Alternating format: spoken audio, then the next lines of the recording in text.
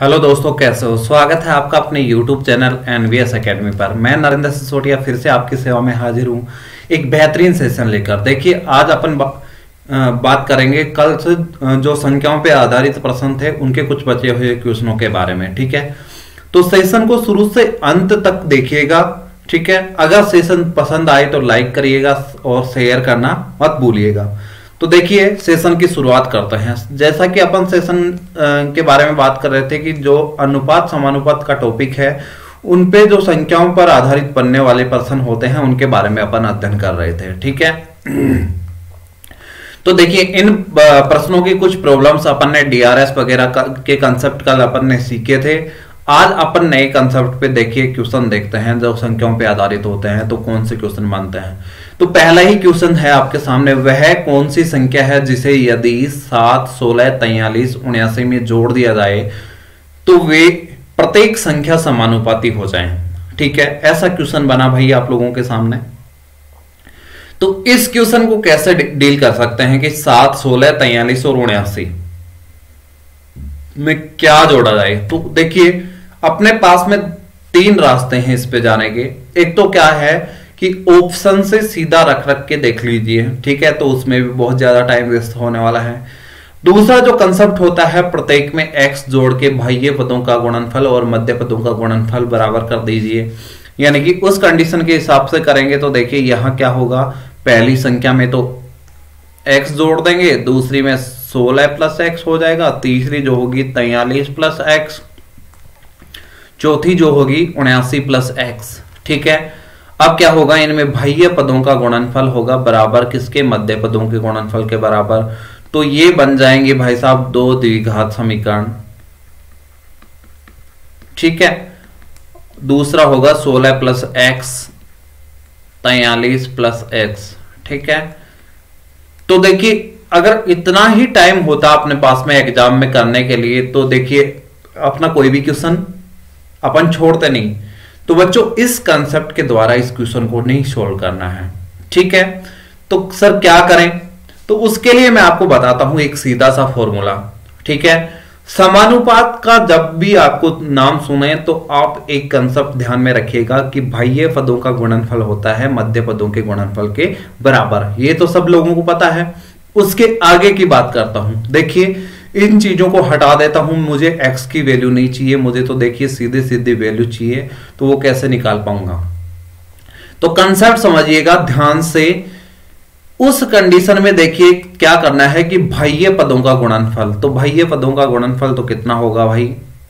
सात गुणा नौ सॉरी उन्यासी गुणा सात, ठीक है? और मध्य पदों का गुणनफल होगा तैयलीस गुणा सोलह। ठीक है? अब क्या करूँ? जब भी ऐसी कंडीशन आए तो ध्यान रखना, जब भी संख्या कुछ जोड़ने या घटाने पर समानुपाती पूछी जाए तो उस कंडीशन में क्या करना है? सबसे पहले तो दी हुई संख्याओं को ही बाह्य पद और मध्य पद मान लेने हैं। ठीक है? तो मान लिया भाई, उन्यासी गुणा सात और तैयलीस गुणा सोलह। इनका अंतर ले लेना है। ठीक है, बाह्य पदों का गुणनफल और मध्य पदों के गुणनफल का अंतर ले लेना है और नीचे भाग दे देना है बाह्य पदों का योगफल।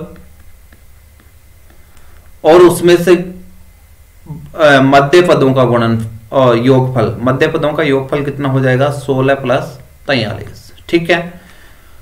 अब इसमें प्लस या माइनस का कोई चक्कर नहीं होगा, जो भी संख्या निकालनी है इस कंसेप्ट के द्वारा हो जाएगा। तो ये तो क्या हुआ? बाह्य पदों का गुणनफल। माइनस मध्य पदों का गुणनफल।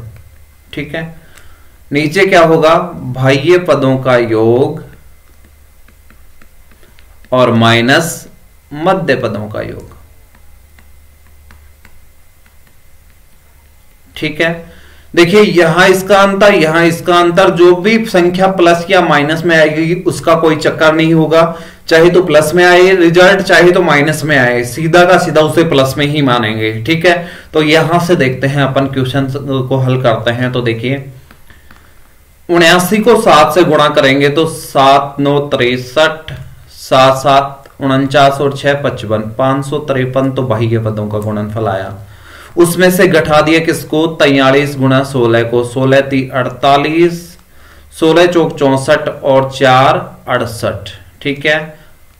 बटे उन्यासी और सात कितना होता है? छियासी। इसमें से घटा देंगे कितने को? 59 को। ठीक है? तो 59 को घटाया तो देखिए ऊपर तो क्या बच गया भाई? पाँच में से छह सौ अठासी को घटाएँगे या फिर छह सौ अठासी में से पाँच को घटा के माइनस का चिन्ह लगा देंगे। तो आठ में आठ में और पाँच में, आठ में से तीन को घटाएँगे तो कितना बचेगा? पाँच। आठ में से पाँच को घटाएँगे तो कितना बचेगा भाई? तीन। छह में से एक पाँच को घटाएँगे तो कितना बचेगा? एक। ठीक है? तो संख्या बची माइनस का एक सौ पैंतीस। अब छियासी में से उनसठ सीधा सीधा जा रहा है कितनी बार? सत्ताईस बार, ठीक है? तो रिज़ल्ट निकल के आया कितना भाई? माइनस का पाँच। मैंने कहा प्लस माइनस का कोई चक्कर नहीं होगा, जो भी रिज़ल्ट आएगा वही संख्या होगी, उसे प्लस में रख के रख लेंगे। चाहे तो घटाने की बात आए, तब भी यही कंसेप्ट लगाना है, चाहे तो जोड़ने की बात आए, तब भी यही कंसेप्ट लगाना है, ठीक है? तो प्लस पाँच हुआ तो प्लस पाँच हुआ तो यहाँ देखिए प्लस पाँच कौन सा है? ए ऑप्शन है, ठीक है? नेक्स्ट क्वेश्चन करते हैं। कॉन्सेप्ट ध्यान में रखिएगा।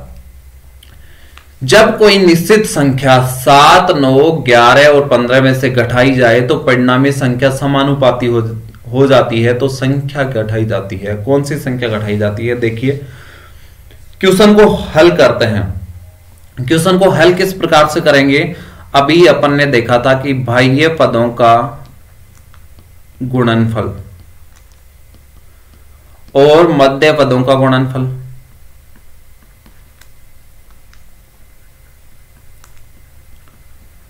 उसमें भाग दे देना है बाह्य पदों का योगफल।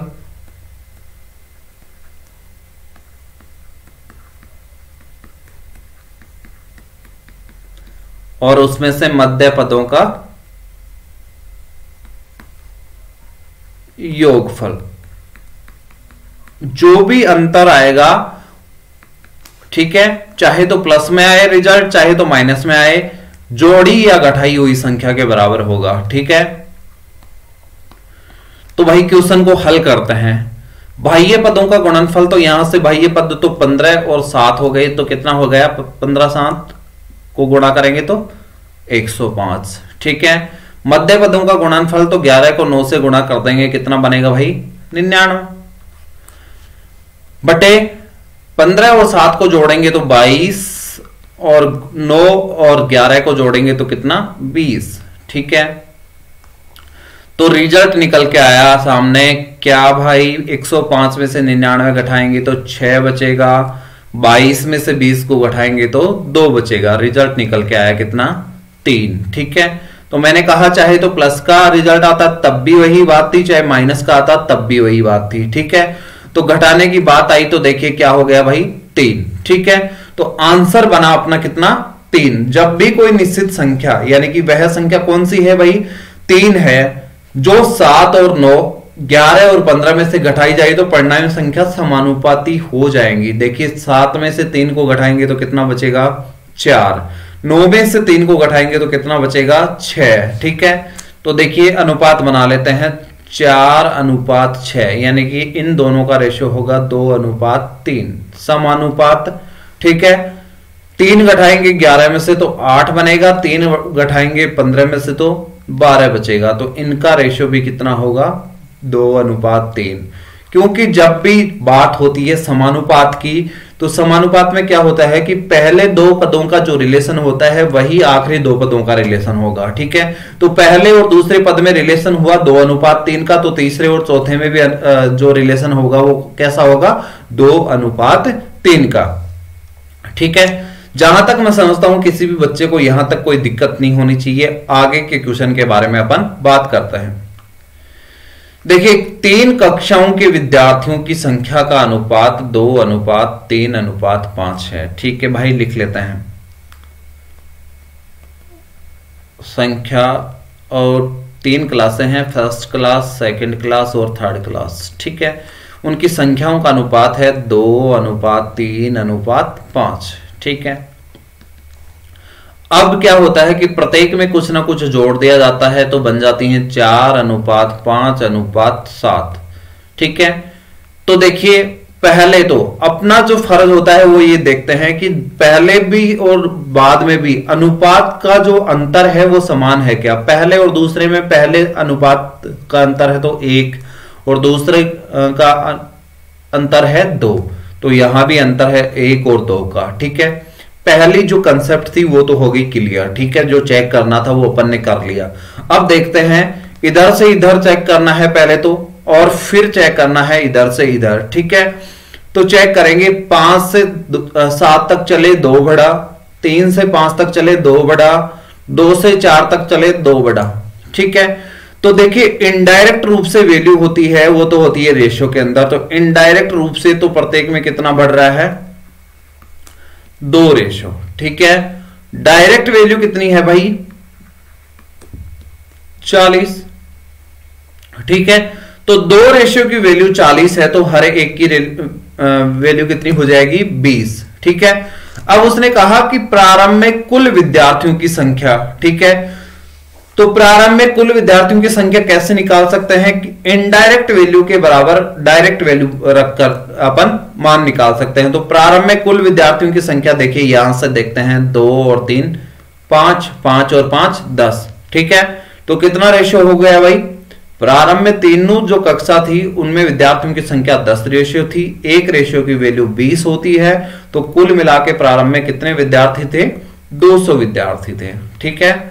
तो इस प्रकार से अपन इन क्वेश्चनों को हल करेंगे। तो कौन से ऑप्शन में है 200 विद्यार्थी? ऑप्शन नंबर बी में। ठीक है? तो विद्यार्थियों बताइएगा, कैसा लगा आज का सेशन अगर सेशन पसंद आए तो कृपया ज़्यादा से ज़्यादा लाइक करें शेयर करें। कृपया कमेंट करके ज़रूर बताएँ कि जो स्पीड है उसको कम करनी है, ज़्यादा करनी है, जो समझाने का तरीका है उसको और मॉडिफाई करना है, या फिर इससे कम, यानी कि इजी वे में समझाना है। तो कृपया ज़्यादा से ज़्यादा लाइक लाइक करिए शेयर करिए और सब्सक्राइब करिए, ठीक है? आप सभी लोगों का धन्यवाद एनवीएस चैनल पर बने रहने के लिए। Thank you all of guys